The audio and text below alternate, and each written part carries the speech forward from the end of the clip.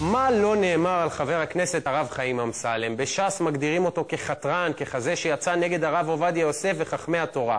הוא מצידו מתנער מהאשמות ומתמקד בינתיים בזירה האינטרנטית כדי לגייס תומכים בפעילותו. הדף שלו בינתיים זוכה לתמיכה מופלגת, שנייה בגודלה רק לדף הפייסבוק של נתניהו.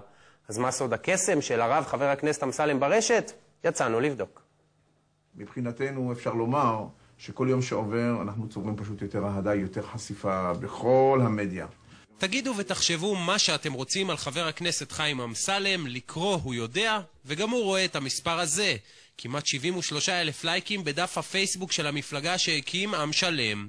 אני רואה בכלי הזה של האינטרנט והפייסבוק את הכיכר תחריר של כל אלה שמנסים להשתיק אותם. אל תטעו, אמסלם הוא לא אחד שרומז, ראו לדוגמה את התגובה שלו לטענות שמגיעות מש"ס.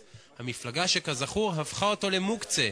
שם טוענים שאמסלם יכול להתחנחן עד מחר בפייסבוק, אבל הקלפי הוא לא יצליח להביא מצביעים. בש"ס ספציפית, ירימו על זה גבה, כי הם יגידו, הוא משטיח את הדת דרך הפייסבוק. לא מעניין אותי.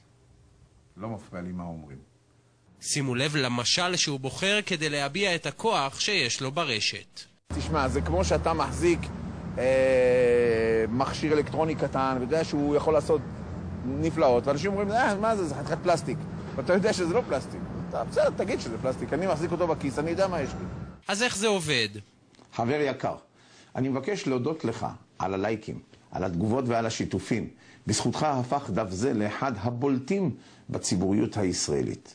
משתי לשכותיו, זו שבכנסת וזו שבמשרדי עם שלם בירושלים, פועל המנגנון שהקים, שהמטרה הראשונה שלו היא גיוס. לא גיוס לצה"ל, אלא גיוס לקלפי. ועכשיו חשוב לי לבקש ממך, אתה, שנושאים אלה שאני פועל בעבורם בוערים בלבך, לעשות צעד אחד נוסף. הצטרף עכשיו אל מאות הפעילים של עם שלם ברחבי הארץ. כדי לשכנע אתכם לתמוך בו לפחות בפייסבוק, אמסלם בחר במסר הזה בתמונת הטיימליין שלו. חרדי, איש עסקים, חייל, אפילו אישה רחמנא ליצלן, כולם מופיעים האחד ליד השנייה בתמונה אחת. אז אתה מסביר דרך הכלי הזה, שהוא כלי חילוני, או סליחה, חולי. אך הדקויות הדקויות, אין לו ברירה על הרב אמסלם. עם כל הכבוד לחילונים, המטרה האמיתית שלו היא לנגוס בש"ס. עוזבים את ש"ס רק בשתי דרכים, או במעשיהו, או אם אתה מביע דעות עצמאיות. דעות עצמאיות הוא מקפיד להציג גם בפייסבוק, ובדקנו, הוא זוכה גם ללא מעט תגובות חיוביות של הגולשים. אני לא אתחיל להידפק לשערי העיתונות אה, כדי להכניס איזושהי כתבה קטנה או מסר של שלוש שורות, אז אני מעלה אותו בפייסבוק. ולא רק לפייסבוק, תראו איך אמסלם מנצל את היוטיוב לדוגמה.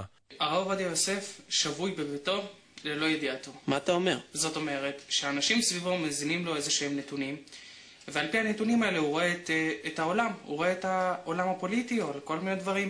המסרים של אמסלם ביוטיוב קצרים למדי. לימודי הליבה אין להם שום דבר שמתנגש עם הדת, עם היהדות, עם התורה.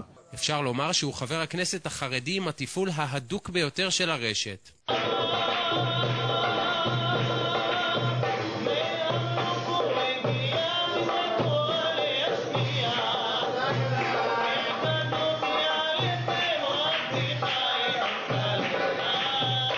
אבל אמסלם המשיך לרקוד ולשיר גם כשהגיעו האיומים בטוקבקים, והוא מתכוון להמשיך באותה הדרך בדיוק גם לכנסת התשע עשרה.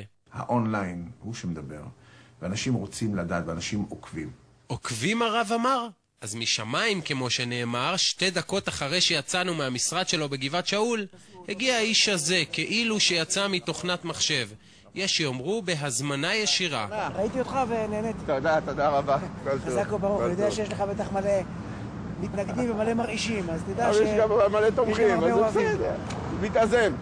אמסלם ואנשיו יודעים את העבודה ואפילו לקחו בהשאלה מסרים מדמויות אחרות לקראת הבחירות הקרבות. גם להביא אולי פוליטיקה קצת אחרת. אתה יודע, הפעם האחרונה שמישהי אמרה פוליטיקה אחרת היא מחוץ לפוליטיקה כבר. טוב, לא בגלל שהיא אמרה את זה, זה שאמרה את זה, זה דווקא כן הביא לה קולות. עם המשחק הזה, בין הווירטואלי לממשי, בין האינטרנט לשטח, בין המסרים הישנים לחדשים עוד יצליח, את זה עוד נראה. מה שבטוח שלא רק בכנסת מדובר בחבר כנסת צבעוני, אלא לא פחות מכך, גם ברשת.